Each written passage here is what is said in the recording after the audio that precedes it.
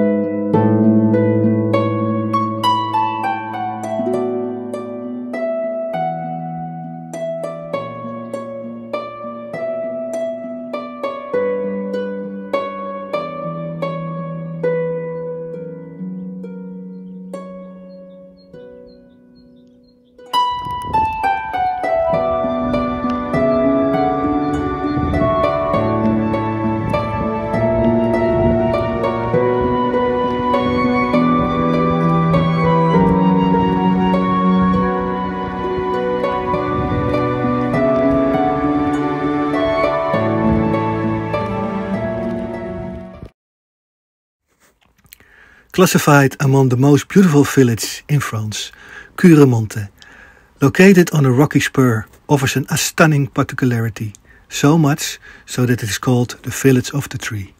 Three churches, three castles, three fountains, three calvaries and three oxen shoeing works.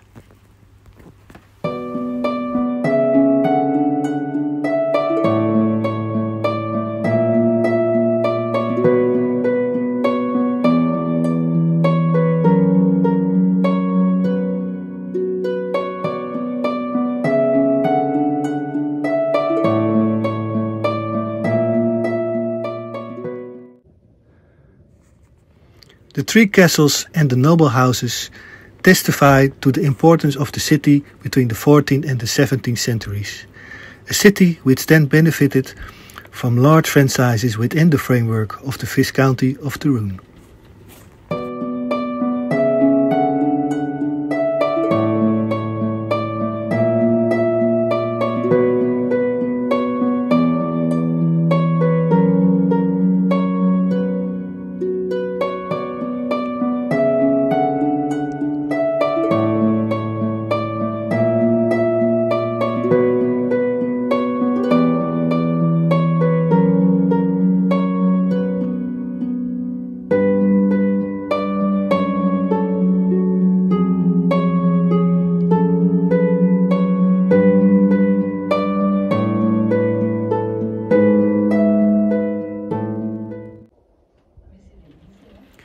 Raymond de Curemonte took part in the First Crusade alongside the Viscount of Turenne.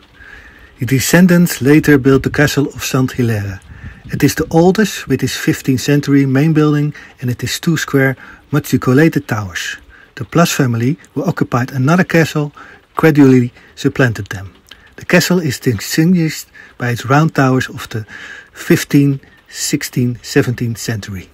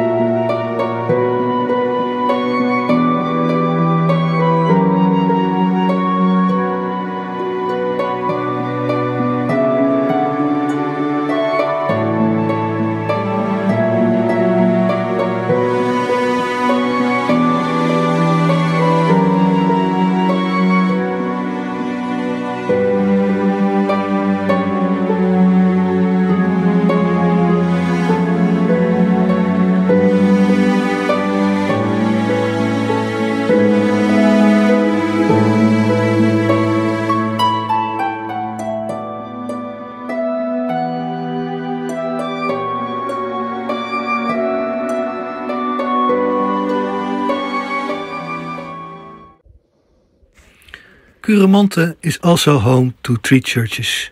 The Romance Church of St. Bartholomew du Bourg, the Church of La Combe, among the oldest in Limousin, probably built on Merovingian foundations, and the Church of Saint Genest, today converted into a religious museum.